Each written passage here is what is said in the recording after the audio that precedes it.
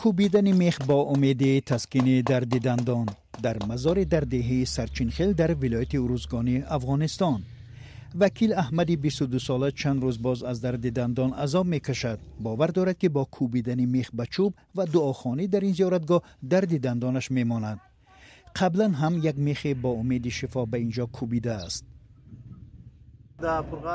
دندانم درد می کرد. مردم به من گفتند با این زیارتگاه بیایم میخ بکوبم. دندانم صحت می شود. من هم آمدم و این کارو کردم. معلوم نیست روزانه چند نفر برای دعا و زیارت به اینجا می آیند. ولی هزاران میخ و چوب مانند به خورپشت بیانگری آن است که هزاران نفر با طلب شفا آمدند. اینجا مزار محمد عظیم اکا ساکن شهر ترینکوت است که به قبل مردم در زمان جنگ با سربازان شوروی کشته شده است. این زیارتگاه دیگری در ترینکوت است.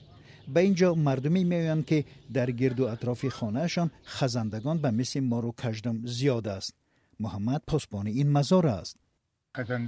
این زیارتگاه برای امین ماندن از خزندگان مثل ما رو کجدوم است.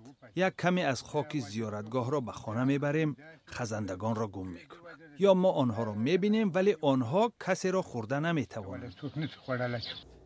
اعتقاد به شفا بخش زیارتگاه ها در بین روحانیان افغانستان موضوع بحث برانگیز است. برخی ها زیارتگاه ها را مقدس برخی دیگر اعتقاد به زیارتگاه ها را شرک می دانند گروه دیگر می‌گویند رفتن به زیارتگاه ها مشکل ندارد به شرطی که مردم برای دعا و عبادت بروند.